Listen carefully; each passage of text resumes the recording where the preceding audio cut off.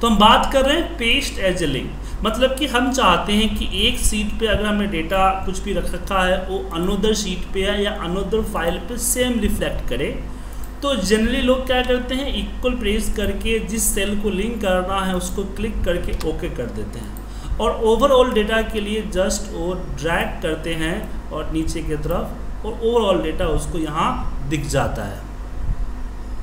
लेकिन मैं यहाँ पे थोड़ा सा चेंजिंग करना चाहता हूँ। मैं चाहता हूँ कि मेरा पूरा डेटा नहीं, मेरा कुछ कुछ पार्ट जो है वो कॉपी पेस्ट हो।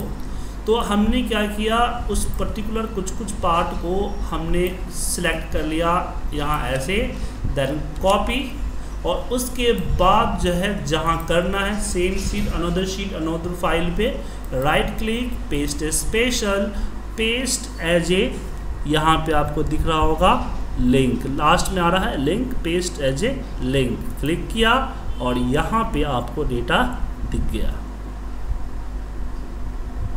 और मैं इस पहले शीट पे जो भी चेंजिंग करूँगा, वो अनोदर शीट पे भी होगा।